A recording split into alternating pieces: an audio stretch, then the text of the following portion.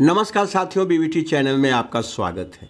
Suheldev Bharatiya Samaj party पश्चिमी उत्तर प्रदेश में अपने पाँव पसार रही है।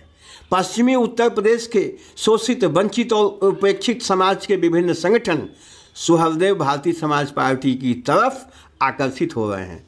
इस क्रम में आज लखनऊ में पश्चिमी उत्तर प्रदेश से आए समिता समाज नाई संगठन के जाने माने कार्यकर्ता एवं पदाधिकारी सुहरदेव भारतीय समाज पार्टी के राष्ट्रीय अध्यक्ष माननीय ओम प्रकाश राजभर जी से उनके आवास पे मिले। यह जो प्रतिनिधिमंडल माननीय ओम प्रकाश राजभर से मिलने आया था, इसने 2022 के विधानसभा चुनाव को लेकर सविता समाज के हक एवं हिस्सेदारी, भागीदारी के संदर्भ में ओम प्रकाश राजभर जी से उन्होंने चर्चा किया।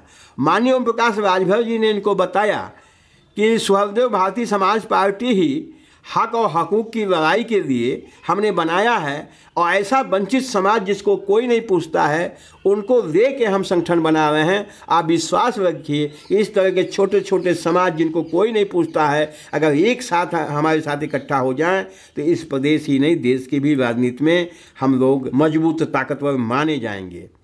और इस प्रतिनिधिमंडल ने आश्वासन दिया कि अगर भागीदारी संकल्प मोर्चा और सुहरदेव भारतीय समाज पार्टी अगर समाज को सम्मान देती है तो पूरे प्रदेश के अंदर घूम घूम के यह संगठन नाई समाज से अपील करेगा कि इस संगठन के साथ वो आवें और 2022 में अपने हक हकूक़ की लड़ाई लड़ें और अपनी हिस्सेदारी दें और इस संगठन को मज़बूत करें। आपको पता है साथियों कि इसके पहले पश्चिमी उत्तर प्रदेश से ही आर्कबंशी समाज, कश्यप समाज और इनके साथ साथ अन्य बहुत से समाज जिनकी छोटे छोटे पॉकेट हैं कुछ कुछ जिलों में इनकी आबादी होती है।